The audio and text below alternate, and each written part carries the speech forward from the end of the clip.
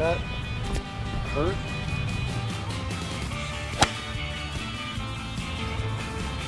Clearly it worked better for the King than Hudson, huh?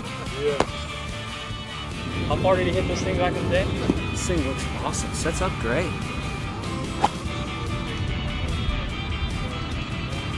All right, it's in the back. There you go. It's in the back. I love it. they still solid. All right, this is a five iron. Um, yeah, it feels pretty good. It's a little- lot heavier than the ones I played, but uh, we'll give it one go here and see how it feels.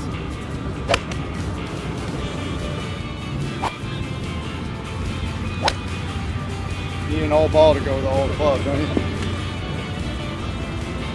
Actually make decent contact with it. I think I hit these better than I hit mine. That shaft kicked a little earlier than mine would be used to. Wow, that was uh, different, y'all. You have to be a lot better player back then to play with these than you do now. But it actually feels really good.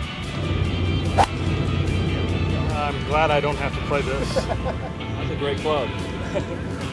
it is amazing the changes. Some of the older clubs in the shafts feel a little weak and whippy, but this one feels feels pretty strong. But I think that's because he was pretty strong. He needed it.